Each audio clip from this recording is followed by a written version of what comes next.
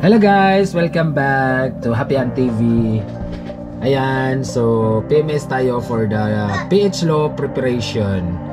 Ang gagawin natin for this uh, video ay uh, titingnan natin yung ano yung magagawa ng ating uh, mga kaibigan dito sa TriG. Shout out sa TriG pala Consolation Branch kay Sir Jan, kay Robert at sa mga lahat na kasama niya. So yan for this video ay mag we will alignment tayo. Will alignment kasi kumakabig sa kaliwa yung ating gulong. So yan preparation natin ito sa darating natin na Philippine Loop.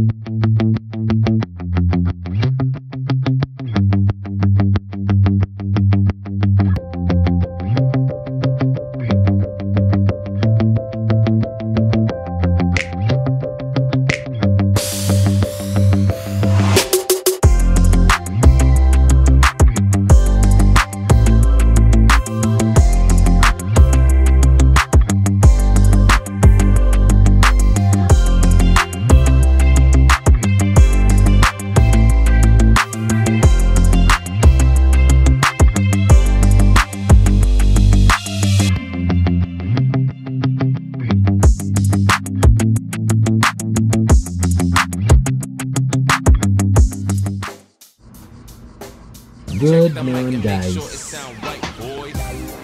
Ayan nakahang up na si Triton at chinicheck na ng kasamahan ni Robert yung ano yung ah, tawag dito yung pang-align ayan gumagapang isa sa ilalim nakahang up na kasi ang pangalan niya pala ay si Peter J. Mindong. Ah, thank you so much Peter J. Mindong sa iyong kabaitan. at talagang ginawa mong lahat para ma-align lang. Kasi nahirapan siya. Sa time na to nahirapan siya dahil ano, ah, may may bushing na isa sa ilalim na marupok na daw. At trinay pa rin nila na hanggang sa makaya with maximum tolerance at hindi abot ng negative 1 So, ang reading ito ay negative ano ata, negative 14. Ah, negative 48 pala ang reading. So, ayan. Inuusog-usog nila para ma-balance. Kasi may kumikislap-kislap yan dyan sa sensor na kailangan i-back, kailangan i-forward. So, ganyan kahirap mag-align ng gulong So, to, pinag anuhan nila, igihan nila ang pagano kasi uh, sinabihan sila ni Sir Robert na ayusin kasi gagamitin nga sa Philippine Loop Adventure Tour yung ating sasakyan.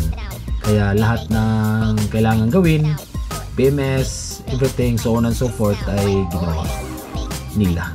So that's for the alignment. At yeah, Ayun. So, kailangan kalsuhan para makita ng sensor. Yung mga kumikislap-kislap dyan sa mismo, yun sa may parang camera na malaki. Yun yun. Iusog na naman para ma ma tama talaga or ma-perfect ang kanyang posisyon. So, di ko na naipakita nung pagdating namin dahil hinatid ko pa sila si Mamian sa uh, SM kasi may binili sila. At yun nga, hindi kami nakapunta sa ministry dahil nagpa-align kami at nagpa-renew ng isang sasakyan yung puti, yung crosswind, pina-renew. Sinabihan naman namin si Tatay Pastor na magpapa-renew kami ng sasakyan. Kaya okay lang naman, may nakapunta naman sa Bagatayam. So shout out kina Pastor Renwell at Pastor Salinaw. Thank you so much. Ayan, kitang-kita sa monitor kung 2 in, 2 out ba ang tawag doon. So yan, sinasabi niya dito na mapalitin na daw yung bushing sa ilalim. So ang nangyari, uh, hinintay namin si Sir Robert kasi nag-road test siya ng sasakyan at yun nga, habang hinintay namin siya, kinalikot muna namin yung ilalim. Kinalikot muna nila. Siyempre, taga-video lang ako dyan. Hindi ako sum- sumali. Wala naman akong alam dyan. So, yan, tinitingnan niya. Shout out, Sir Peter Malindong. Peter J. Malindong. So, yan. Yan yung hitsura ng gulong.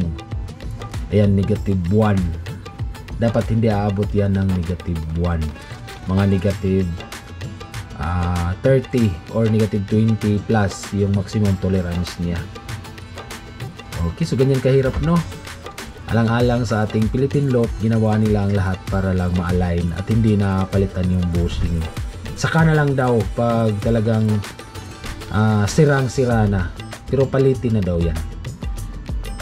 Yun lang. Yan, hinihigpitan. So nag voice over lang pala ako sa video na to dahil yung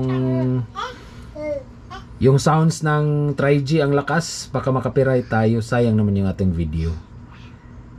So, di ba?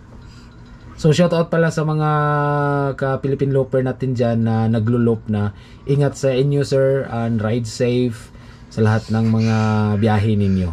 Ingat-ingat at see you sa daan. Kasi ito na lang yung kulang, alignment tapos palit ng fuel filter at you are good to go na. Okay?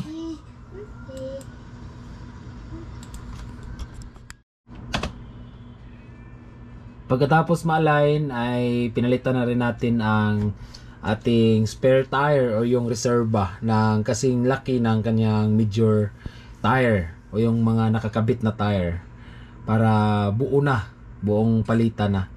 Para pag sakaling na nagka ano tayo, nagka aberya sa loop, wag naman sana. Pero mas maganda na rin na ready.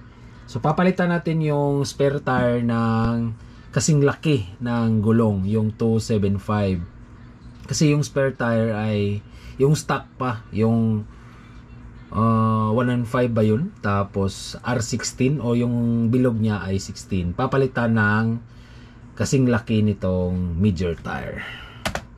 So yan na, pinalitan na. So babaklasin yung unang yung lumang gulong o yung stock yung unang gulong niya, yung kasama sa pagbili ng sasakyan na R16 tapos papalitan ng malaking gulong. R16 pa rin yung laki ng gulong kasi kaka, dapat kakasya sa uh, sa wheel o yung sa yantas. Tapos papalitan niya ng uh, malaki para pag na flat ay magagamit yung yung reserba at hindi tagilid yung sasakyan, buo pa rin yung talagang kung ano yung tindig yun pa rin yun. Kaya pa, papalitan ng malaking gulong. So ayan.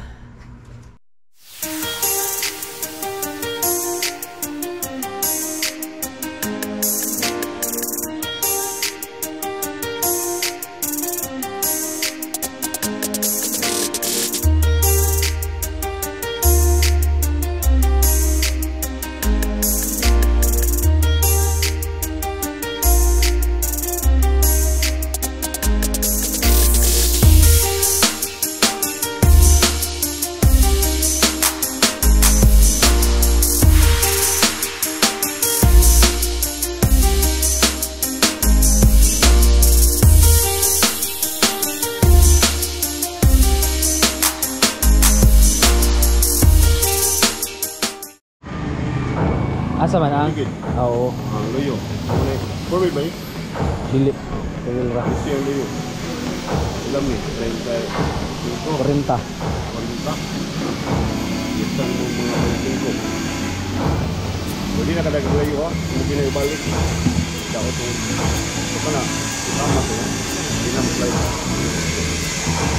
Kita na lang. Pare, ko na level na siya. O, libin kamay. Sige, kapangit. Kamay kayo ng bakitaw. Anak ka to. Kato lagi pagkaplata sa tabangan. Oo. Natunok man na naman ni bulkit. Ibali na kapluyot. Kanin siguro? Ang rag kami. Lain na, nag-aana eh. Kanan. Right go. Ito, anak mo. Oh, ito po.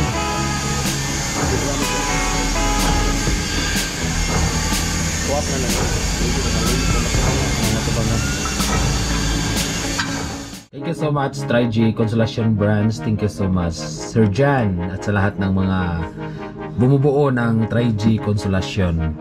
So, napalitan na ng fuel filter, napalitan na ng uh, singlaking spare tire sa major tire, tapos napalitan na rin ng brake pads, at na align na rin ang gulong. So, bago kami uuwi, ay itutor ko muna kayo sa uh, shop ng o sa showroom ng Tri-G mismo sa Consolation Brands. Uh, thank you so much sa lahat sa bumubuo ng Tri-G Consolation once again. Salamat. Salamat at uh, hindi nyo ako binigyo sa pagtinis for preparation on our Philippine Loop Adventure Tour.